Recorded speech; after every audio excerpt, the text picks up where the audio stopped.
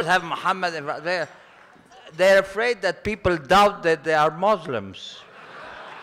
If your name is Muhammad, you are a Muslim. You, you can't be anything else. Anyway, it's true, but I, I'm sure their name is like that. But I mean, I don't know.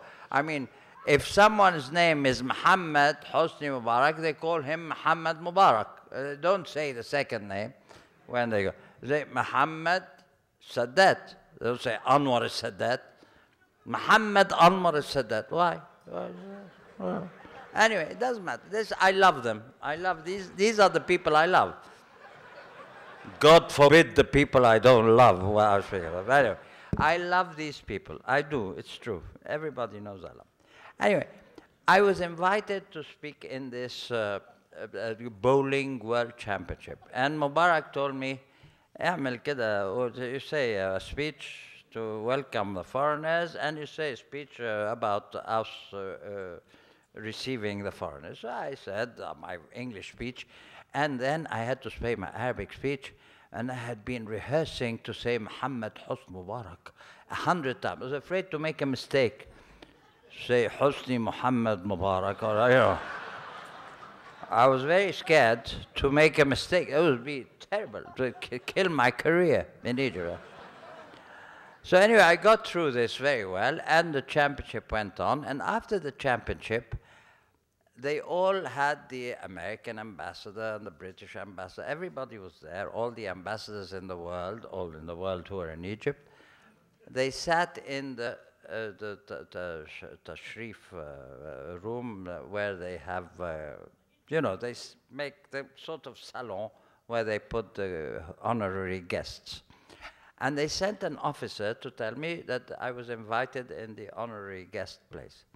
And I walked in, and there were all the ambassadors, all the generals of the Egyptian army, all the corps diplomatique of Egypt, and there was a seat which was empty between Mubarak and Suzanne, his wife. So I said, okay, this is where my place. So I sat.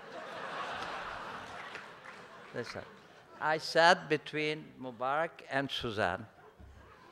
And the atmosphere was very dull. You know, no one was speaking. The American ambassador was sitting there, you know, bored to, to death. And everybody was silent. You know, they don't tell stories because they don't speak the same language. So I was trying to entertain, like I'm trying to entertain you, which is a different task. Except for the fat people. I love the fat people. Get your checkbooks out, you fat people, and pay money for our, our organization. We want money. We want to have money to continue this and to make it grow. But I'm not, that's all right. We want, we want to have the biggest organization in the United States of America. All three millions that we are, we can do it. First, we can do it. We just have to have the will. We have achieved things in our history, the Arabs. We have been the greatest culture in the history of the world. The Arab culture has been the greatest culture in the history of the world. When we were in Andalusia, this was the time of the greatest culture. We had all the Jews with us. All the, great Jewish philosophers, all the Jewish were with us there. And when Isabel Catholica made the great mistake to throw us out in 1499 or something like that, all the Jews left with us. And they came to North Africa. And they became the Sephardic Jews, who are the people that I like. I like Sephardic Jews because they're Arab. They like, you know, they speak Arabic. And they speak with, when they don't speak Arabic, they speak with an Arabic accent. I like that. what was I talking about before I got to this? Huh? Ah, so I sat. ah. How, how far is it from Mubarak and Suzanne to where I got into Andalusia and, uh, you know, and uh, Jewish, uh, Jewish philosophers? There were great Jewish philosophers in that time. Anyway, I sat between Mubarak and Suzanne. And I wanted to entertain the Americans and the British and, you know, and all the ambassadors. And I said, fellas, I want to tell you something. I told them the same story I just told you. I you, you've all got it wrong about the men and the women in Egypt and in, in the Arab world. The women are the bosses. I said, the women, when we close the door in the apartment, they rule us. And then I looked and I saw that I was sitting between Mubarak and Suzanne. And I realized that this was a very dangerous subject of conversation. and I said, present company excluded. I really did. This is a true story. I never tell lies. I tell stupid stories, but ne they're never lies. They're stupid, but they're not lies. okay, fellas. I'm not going to talk a, a, long time because you want to go and uh, have a good time with your girlfriends. I live alone. I can go to my room any. You know, I can stay here and talk to you for hours. I miss nothing. It's between my my choice is whether to talk to you for hours or to go to bed by myself. I, I, know, it's the same thing. I, mean, I can talk for you for. It's more fun to talk to you than to go to bed by myself. But I chose, I chose to like to go to bed by myself because I culture myself. I cultivate my knowledge. When I was younger, I used to take a book. I used to take Proust, À la recherche du temps perdu, and great books, and read. And in the middle of the chapter, I used to think of a pretty girl and I used to take the phone and say, Hi, darling, what are you doing? Are you busy? Why don't, why don't we meet to, you know, have a little bit of fun and all that? I never finished a chapter when I was young. And now, I'm so happy. I can read the whole book from cover to cover.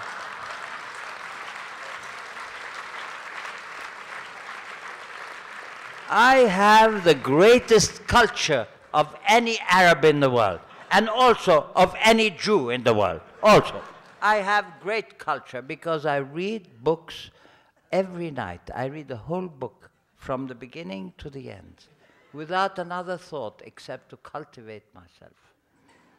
I love you girls. You're all gorgeous.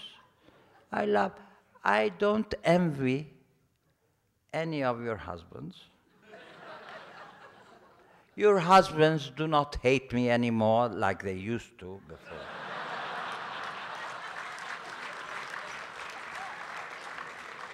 now they love me because they say the guy's innocuous. He's not, no, no danger, uh, you know. But, you know, men should be careful. Not of me. Me, I am, I can guarantee you that I'm no danger. I don't know. Trust me. Trust me, I never lie. I have never lied in my life. But husbands must be very careful because women are very treacherous, beautiful women. I'm not warning you about something bad. I'm just saying to you, be careful. You don't just take it for granted that she loves you. Yeah, she loves you. I'm sure she loves you. But try and make her love you more. Give her a little more love, more attention, more gifts. I uh, know gifts, no, not money, no, no, no. Gifts of love. Remember her wedding anniversary. Remember her birthday. Don't forget ever, ever, ever. The day you forget her birthday or her anniversary, you're dead. You're out. You're out. Not you. No, no, no, not you, guys. Not the fat guys, the fat guys. the thin guys, because the thin guys think they've got it all made. See, I used to be fat a bit a, a few years ago because I became old. And then I became thin only because I became old. I became thin out of oldness. This is another, a new way of becoming thin. Anyone who wants to die, just get old. You'll get thin. You know. You don't have to diet and not eat. Just, just get old. You'll get thin, you know. You can't be fat and old. God, God has made uh, rules not to give us all the disasters in the world. You know, the rich countries have cold weather, and the poor countries have hot weather. They have the sunshine, they have the blue sky. God is just. And so, if you're old, you're thin. And if you're young, you're fat. It, uh, the Arab men are fat because they eat too much. Because, you know, in my country, in Egypt, the dream, we are a country which, which was marked by hunger. It's atavistic, you know, that hunger was our history. The ancient Egyptians were hungry. Everybody was hungry. The Arabs were always hungry people. And when they make some money, the first thing they want to do is eat meat. meat is the sign of being a little richer. So in my country, they eat kofta and kebab. This is the first step from fool and ta'miyah. yeah, the first, first you eat fool and ta'miyah, and then you become a little rich and you eat kofta and kebab. Okay? And then you become richer. And when you become richer, you eat filet mignon. well cooked.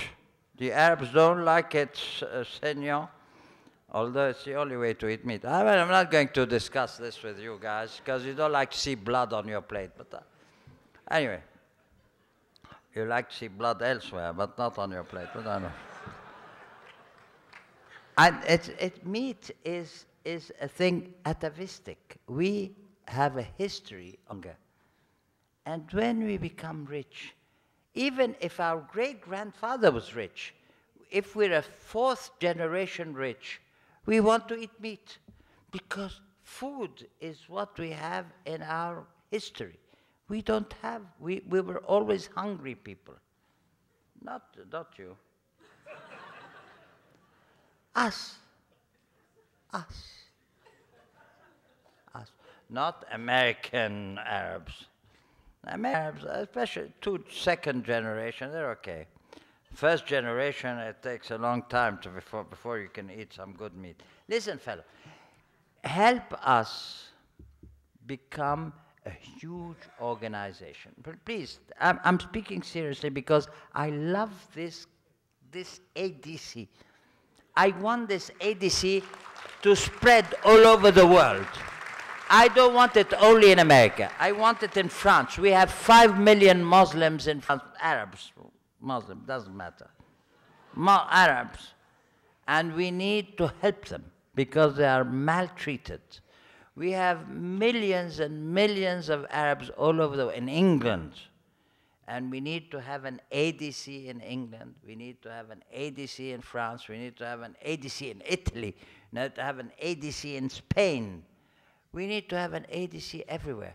But first of all in America, because it all starts here and it ends here.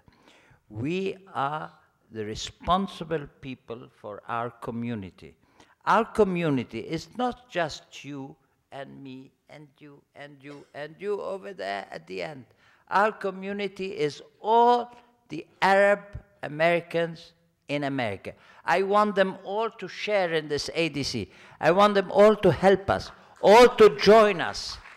And I will be, I will join the ADC and I want to have a, an important post in the ADC.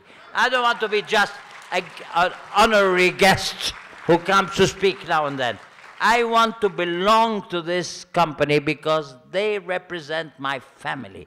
You are my family. I love you. I love you so much. I can't, I can't love you individually. I wish I could love you individually. I can see a couple of beautiful girls, but I'm. Okay. No. I've, I've also seen ugly men, but you know, I, I, I can love them too, the ugly men, as long as they get the checkbook out and write a check for us here. Let us be as strong as the other uh, communities, which I will not name them by name, because I'm not against them. I'm against no one. as I said to my son when he became an actor, uh, when he, did, he didn't become an actor, he wanted to. I, but I said to my son, one advice I will give you never ask a girl her nationality nor her religion before you kiss her. And so this idiot son of mine, he married the Jewish girl, then he married a Catholic girl, and now he's married to a Muslim girl finally. So, I mean, he, he just totally believed, he didn't do it on purpose. It's just that he, he loved these girls, they were pretty, so he kissed them. And then he found that she was a Jew. And then he found a Catholic. That, that was good. I like it. I'm pleased. I have two grandsons. The people will, will criticize me about this. Once his mother is Jewish. My son divorced when the boy was one year old. And we couldn't get custody because it was in Canada. They were Canadian. She got custody, and she, he was brought up in his mother's family. And he became very, you know, following her, his mother's religion. But I got him every year to come to Egypt. I told Fatin, my, who is his grandmother too, Fatin Hamam is the grandmother of my, his name is Omar Sharif. My, that, my great gra my grandson, who is the oldest one, is Omar, of course. And so he came to Egypt, and I told him, look, love us. Look how we are nice, we are kind. Because he had ideas that we were terrible. He used to tell me uh, how we, what we did in the Six Day War, we screwed you pretty good. I said, What are you talking about? My own grandson said to me, I said, Are you crazy? Are you talking to your grandfather? I mean, I'll kill you. I'll kill you right now.